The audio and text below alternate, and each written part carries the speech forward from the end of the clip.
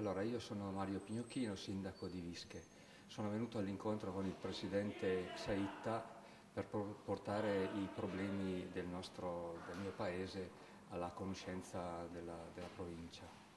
Tra i problemi principali che abbiamo sono eh, quelli sulla viabilità, poi ce ne sono di carattere economico e eh, delle proposte sull'ambiente eh, per verificare la possibilità di sviluppo turistico.